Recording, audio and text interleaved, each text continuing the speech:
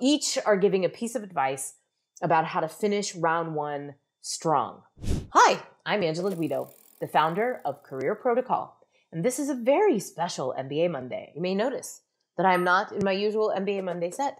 That's because the whole Career Protocol team is focused on helping our clients cross the finish line. It's it's go time for round one. For all of our amazing subscribers, uh, we wanted to leave you with some last pieces of advice about how to cross the finish line strong.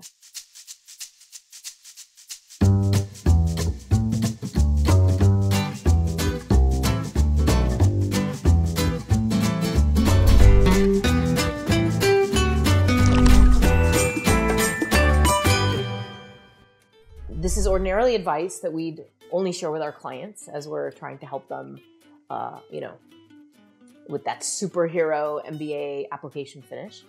But uh, we're going to share it with all of you as well because we know at this time of the year, you just need a little boost sometimes to make it to the end of this incredibly long journey of taking that standardized test and getting ready for your applications, revising your resume, writing those essays, the short answers, the recommendation hurting, all of that. It's, it's really a lot of work. So, first of all, congratulations for making it almost to the end of the round one journey.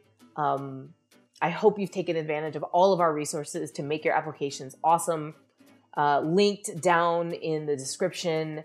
Be sure to check out the MBA resume protocol if you haven't already. It will totally change the way you think about resumes and for the better. Be sure to also follow our guidance for your recommenders. We've got videos that you can actually just share with them to help them do the best job they can do on your behalf in writing the recommendation.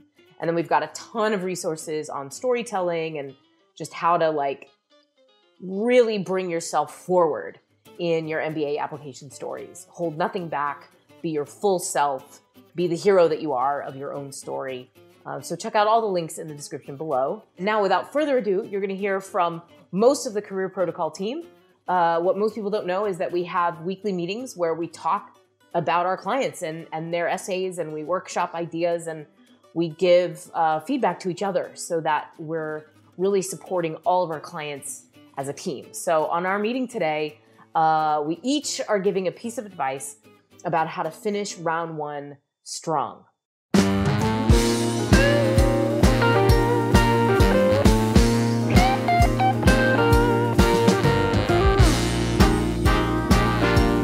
Don't anything on the table. Give it everything you have.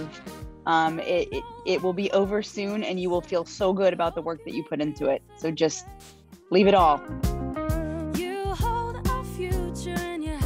Think about the one thing you want every school to know about you. And no matter what the question, and no matter what the school, make sure that thing is represented in its authentic form in every application. Can you hear my cat eating in the background? Are we good? Okay. Before you submit, take a look at everything that you've written with a set of fresh eyes. And I don't mean like send it to your parents and everyone you've ever met to like see if things are good, but take a look again at everything that you've done like you've never read it before. You're reading it for the first time and make adjustments from there. Super practical. Start working on your form applications now if you haven't done it yet. Don't wait until the last minute to do those guys because bad surprises can happen. And we want to be here to help you. So give us plenty of time to do that. You will thank yourself for that gift if you do it now. I think that at this point in the process, I feel like a large percentage of clients usually start the self doubt really sets in. Am I doing this? Why should I be doing this? Am I good enough to even be applying? Should I click submit? Should I postpone this till round two? Should I retake the GMAT? Do I really deserve to be applying to HBS or Stanford or Wharton?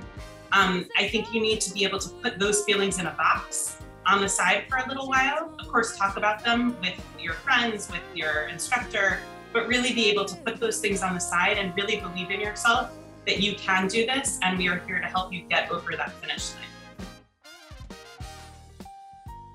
If you're feeling particularly stressed right before the deadlines, give something very cuddly and cute a big hug or hug someone that you love very much and know that everything will be okay. make sure that you love the stories you're submitting. No matter whose advice you've taken on board as you've gone as you've gone on this journey, maybe your friends, alumni, possibly even other consultants, the best essay is the one that truly reflects who you are in all of your humanity and all of your glory. It's a story that genuinely touches your heart when you read it. So, if your essays don't just quite do that for you, if when you read the essay, you don't feel like, yes, this is me, this is who I am, this is who I want to be known as, then it's not final. Fortunately, there's still quite a few days left before the round one deadline. So if you're in that situation and your essay doesn't just light you up when you read it and make you feel so proud of the person that you are, then be sure to look at the resources down below so that you can truly tell an extraordinary epic story in your MBA application. That's it. All the best for completing your MBA applications. We're rooting for you and we know you can do it. We're taking next week off because it's a public holiday. But two weeks from now is interview week. Every day, the week of September 20th, we're going to be releasing a new video about MBA interviews. Uh, you're not going to want to miss it. I, I've written a best selling book on interviews, and I'm showing my very best tactics in those videos specifically for your MBA interviews. So we'll see you then. Good luck. Let's record it now. Let's just go around the horn and record it now. And if anyone is like really like, no, don't put me on there, then uh,